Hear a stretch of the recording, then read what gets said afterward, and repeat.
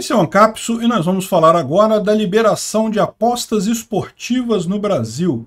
O Lula regulamentou os sites de aposta esportiva por aí.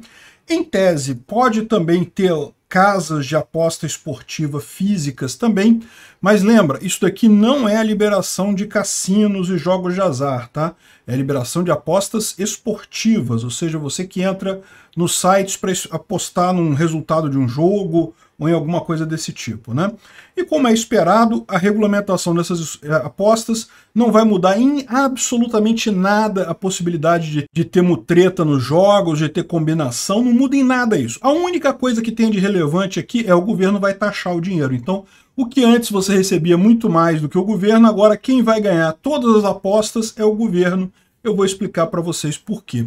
Essa notícia foi sugerida por Volto L. Arrependido, faz os 50 em números romanos e várias outras pessoas. Obrigado aí ao pessoal que sugeriu a notícia, obrigado a você que está assistindo o nosso vídeo. Se você gosta do nosso conteúdo, por favor, deixe o seu like e se inscreva aqui no canal, né?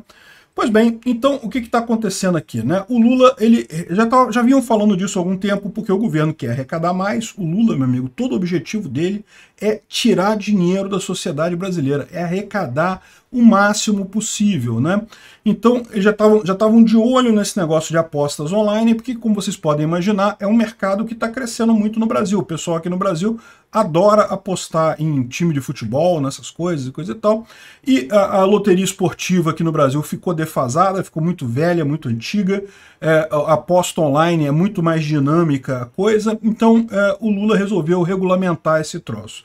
E a promessa que ele fazia, vocês lembram disso, né? Não, porque tem golpe, porque teve o um jogador tal que estava vendendo resultado para não sei quem e não sei que lá, e querendo tomar cartão vermelho e tal, coisa e tal, para influenciar apostas, não sei que lá, mas né, a promessa é que a regulamentação das apostas iria resolver esse problema. E é, é o que eu falo sempre.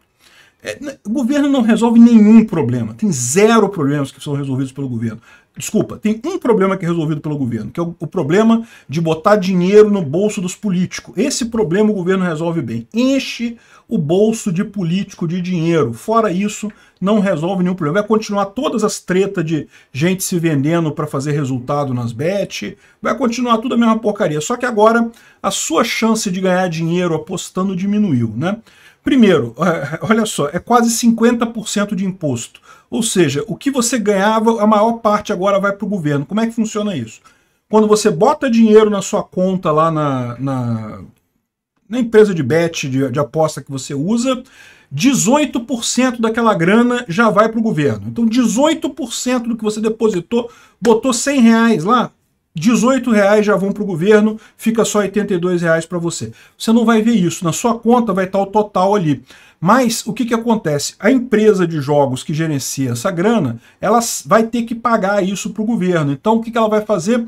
Ela tem que te tirar esse dinheiro. Como é que ela faz isso? Ela faz mudando os odds, né? Você sabe, cada aposta que você faz tem um odd, um, um, tanto que você ganha se você ganhar aquela aposta, né? E esses odds, eles não são necessariamente parelhados, né? Se fossem perfeitos os odds, uma, uma aposta, por exemplo, que é, para um lado desse 0.5, para o outro daria 2, porque seria exatamente o inverso. 1 sobre 0.5 é 2, daria certinho. Não dá isso. Por quê? Porque a própria empresa de aposta ela já tem que ter o lucro dela. Então ela já bota uma diferençazinha ali que é para ela ter o lucro dela naquilo ali, né? Então uh, uh, agora vai ter que botar um negócio maior, por quê? Porque tem que tirar a grana do governo, tem que pagar os 18% para o governo. E aí depois dessa coisa toda, vamos supor que você ganhou a aposta. Se você perdeu a aposta, você só perde 18%. Não, não você perde tudo, né? Se você perdeu a aposta, você perde tudo. Mas o, o governo ganha só 18%. Agora, se você ganha a aposta, então você apostou em alguma coisa, ganhou aquela aposta, beleza, uhul, me dei bem. O que, que vai acontecer? 30% vai para o governo, meu amigo, trintão, na dura, na bucha. E mesmo que isso não saia do seu... Isso aqui vai sair do seu, do seu bolso mesmo, tá? Eles vão descontar lá 30% de imposto sobre ganho. Mas é aquele negócio, na verdade não foi 30%, foi 50%, porque já tinha 18% antes que você não viu ser tirado de você, porque isso foi embutido lá no odd da aposta lá do jogo, né? Ou seja, é o que eu falo, o governo olha essas coisas só para tirar dinheiro. O governo só serve para tirar dinheiro da sociedade. Não ajuda ninguém, não ajuda nada, só piora a situação toda e tira dinheiro de todo mundo. Né? O Lula está vendo isso daí como uma vaca sagrada para dar dinheiro. Eu espero que a maior parte das bets não, é, é, não entre no mercado brasileiro, prefira continuar informal, porque ela continuando informal continua funcionando aqui no Brasil, né? Porque a internet tem essa beleza, né? Você continua podendo comprar e não tem que pagar esses impostos, essa impostaiada toda maluca aí. No mínimo, casas de aposta com Bitcoin e outras criptomoedas, você já tem essa vantagem. Você pode fazer tudo lá fora sem precisar pagar essa montanha de imposto para o governo brasileiro. Né? Vamos ver o que vai acontecer, como é que vai ser o resultado dessas casas de aposta.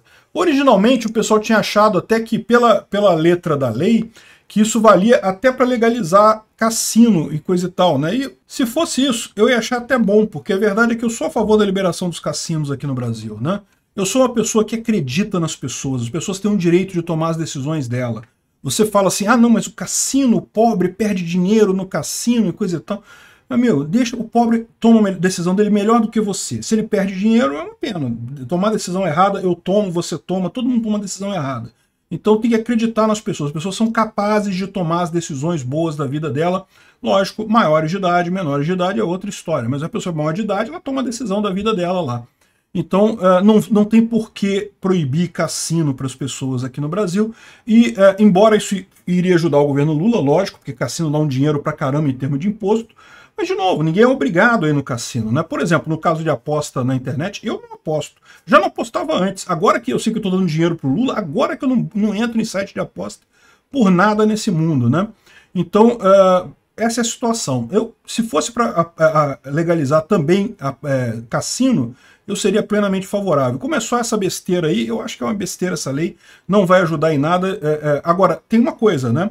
Isso aqui permite que você faça apostas esportivas também em casas físicas. Né? Então não duvido nada que daqui a pouco surjam por aí é, casas físicas com esportes pouco recomendados para as pessoas apostarem. Né? Em, é, é, eu não sei, tem corrida de rato, vocês já viram isso?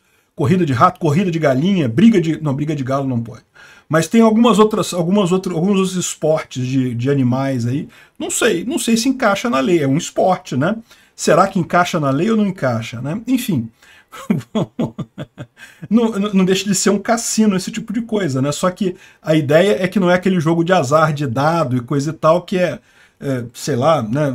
É, eles dizem que isso é mais fácil do cassino é, manipular os resultados, mas a verdade é que, cara, a banca sempre manipula o resultado, qualquer que seja o jogo, né? E para o governo é ótimo porque o governo sempre ganha, não importa quem ganhe, quem, quanto que a, a banca ganha, quanto que a pessoa ganha, o governo está sempre ganhando nessa história. É muito triste isso daí, né? Obrigado por assistir o vídeo até o final. Além de curtir, compartilhar e se inscrever no canal, considere se tornar patrocinador com valores a partir de R$ 1,99 clique no botão Seja Membro abaixo para saber as condições e vantagens de patrocinar o canal. Mais informações sobre o nosso projeto, visite nossos sites indicados na tela.